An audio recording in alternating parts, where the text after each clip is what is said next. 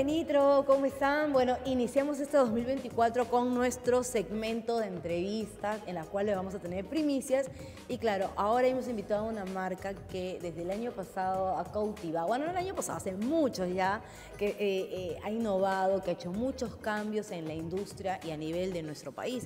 Y bueno, es Volvo Cars. ¿Cómo estás, Alejandro Ruiz de Somopurcio, gerente de marca eh, Volvo Cars para Perú? ¿Cómo estás? Bienvenido, Alejandro. Muy bien y gracias por, por, invitarnos a este nuevo ciclo de entrevistas y de recibirlos acá en nuestra casa de Lima. Hoy la que tenemos, pronto tendremos más novedades. ¿Cómo se encuentra Volvo en nuestro país, ¿no? ya al, al 2024? Perfecto, mira, para entender un poco quiénes somos y hacia dónde vamos en Volvo, hay que entender que para nosotros la persona es lo principal. Eh, como te comentaba antes, de hecho, todos nuestros enfoques en seguridad o nuestros desarrollos en seguridad vienen porque siempre ponemos a la persona como centro. Es por eso que incluso ahora que van evolucionando las pruebas de, de seguridad, incluso autos que nosotros empezamos a vender a principios de los 2000, siguen pasando con cinco estrellas, mientras que otras marcas, digamos, que están hechas para pasar la prueba, luego empiezan a fallar. Eh, con ese mismo enfoque, ya acercándonos a, esta nueva etapa de electromovilidad, Volvo también eh, se hace responsable un poco de, los daños que hemos hecho como industria. Nosotros como industria automotriz somos también causantes de, una gran emisión de, de gases que hacen mal a, nuestro planeta. Entonces la seguridad contra las personas o nuestra responsabilidad con las personas no solo queda en llevarla segura a casa, sino que su casa, que es el planeta, tenga mejores condiciones. Entonces nuestra transición a, a la electromovilidad viene por un tema de principio de la marca. Es decir, nosotros tenemos que cuidar a las personas, cuidar a nuestro planeta y por eso debemos acelerar esa transición. Entonces ya se vienen dando pasos eh, firmes hacia este cambio. La marca ya anunció hace un par de años que para el año 2030 seremos una marca 100% eléctrica. ¿Cuántos modelos tiene Volvo en su line-up? Me parece que se ha concentrado más en camionetas, en sub. ¿Y cuántas son eh, a combustión y cuántas son ya híbridas, enchufables o eléctricos?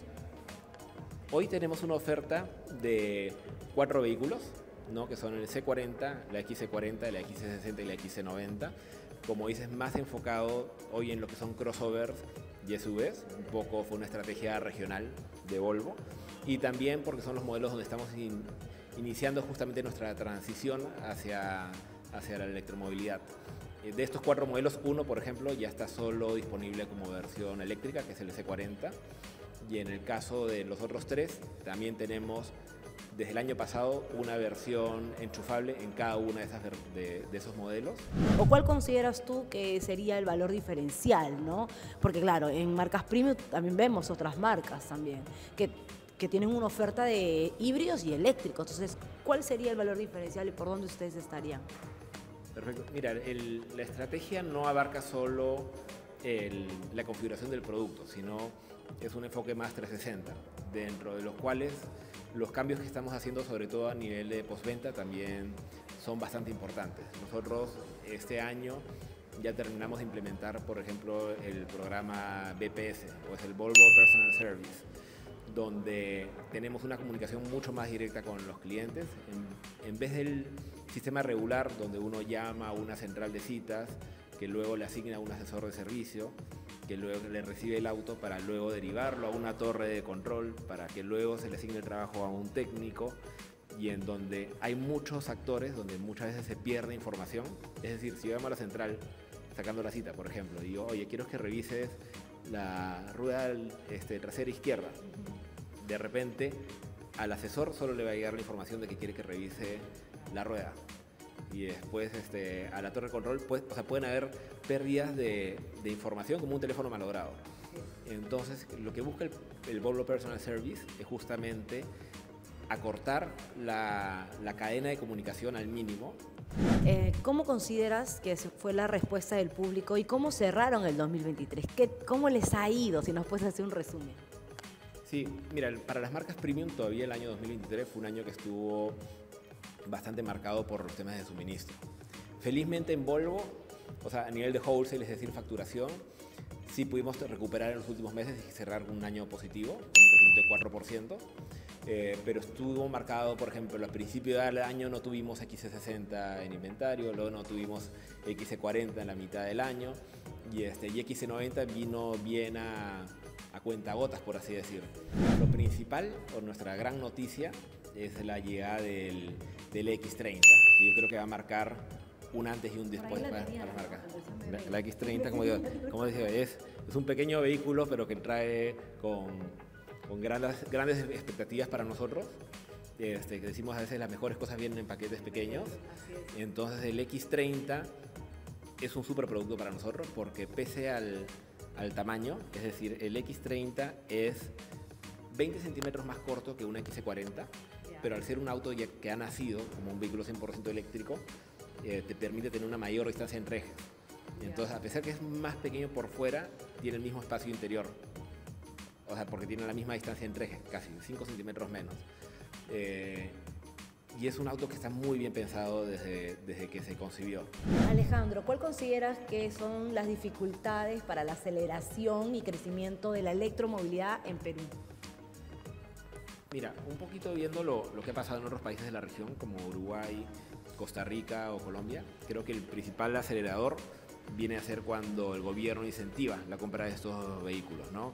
mediante cambios sobre todo tributarios. Eh, felizmente en, en, nuestro país eh, el tema de infraestructura, que también es necesario para países donde uno recorre mucho más distancia. En Europa, por ejemplo, un usuario de estos vehículos recorre cerca de 30.000 kilómetros, en nuestro caso son como 10.000, y muchos se dan en, Lima, donde si bien no recorremos tanta distancia, pasamos bastante tiempo en el auto.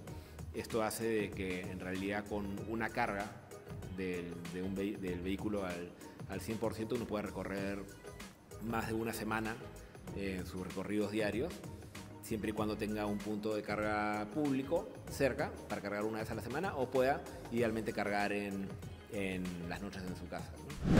Y ya para finalizar, esta es una pregunta muy importante por los mitos y verdades sobre vehículos electrificados, ¿no? Y hablando directamente de los mantenimientos y la batería, ¿no?